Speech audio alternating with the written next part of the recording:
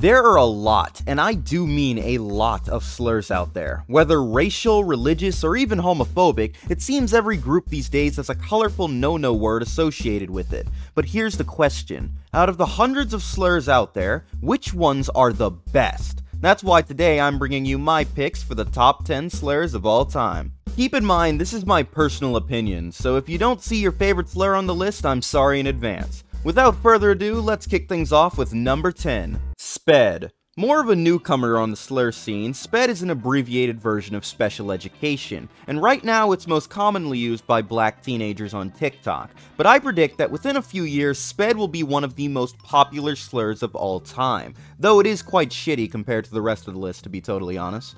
Number 9. Beaner. When it comes to Mexicans, there's like no good slurs out there. When was the last time you heard someone get called a spick? Most people probably aren't even aware there are Mexican slurs, and that's where Beaner comes in. Beaner is definitely the most counteractive slur in the entirety of the English lexicon. The whole point of a slur is that it's supposed to demean the group it's targeted at, but whenever I hear someone say Beaner, they're fucking Mexican, and they're laughing at how stupid the word sounds. Number 8. Retard. No matter who you are, you've probably said retard at least once in your life. Like you're literally calling people retarded before you know how to fucking walk. But sadly, as time has gone on and more slurs have come into the meta, retard just doesn't see as much use anymore. Don't get me wrong, bitches will still cry about it on Twitter, it's just that it's never really gonna feel like it did back in the good old Xbox days. Number 7. Kike. Kike certainly has the monopoly when it comes to Jewish slurs. Like, I can't even fucking pronounce the rest of these. What the hell does this one even say? So whenever I need to greet a Jew, I'll know exactly what word to turn to. Number 6. Dyke. While definitely a more rare slur, Dyke has recently began to gain more popularity as 12-year-olds on Twitter with ZZair in their bio have found a new way to feel oppressed. But I liked using Dyke way before Twitter found it, even though it was just kind of a once-in-a-blue-moon term. Number 5. Slut. It's just such a weird word now. Some women will piss themselves over it, while others seem to take it as a compliment. Before the whole OnlyFans craze, slut was actually like a top 3 word, but now that every woman seemingly wants to be a slut, it's just kinda cringe, and eventually it won't even be top 10 worthy. Number 4.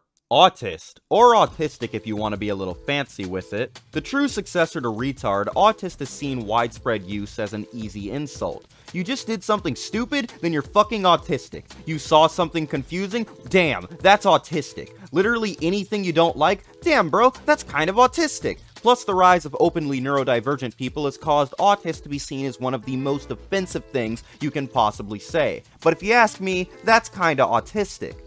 Number faggot. And I specifically mean faggot, because fag is just a watered down, cringe, gay version of its superior older brother. This used to actually be my favorite word of all time. Not just favorite slur, I mean favorite word. I probably used to say faggot at least 20 times a day. I was just completely in love with that string of letters, and to be honest, I still don't really know why. I guess I just thought it sounded funny or something stupid like that, but yeah, I still consider faggot to be a pretty top tier on the overall slur tier list. Number 2 is tranny, and this slur doesn't actually see that much use from the average person, but I've given it a whole new meaning which has resulted in me using it all the time.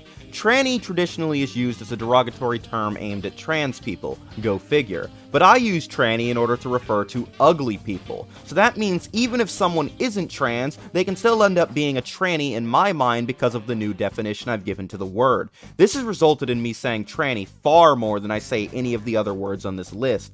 Number one, it's nigger. What else could it possibly have been? We all know the mystical N-word is considered to be the worst thing you can say ever. The one true holy grail of expletives. No word in all of human language has as much power as the N-word. It offends blacks. It offends whites. It offends fucking dogs. Literally everyone and their grandma finds the N-word offensive, which ironically only makes people want to use it more. If slurs had anime power scalings, nigger wouldn't even fit on the fucking graph so it's no surprise that I and many others consider it to be the number one slur of all time.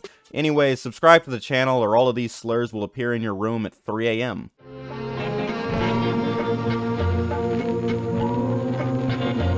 It's not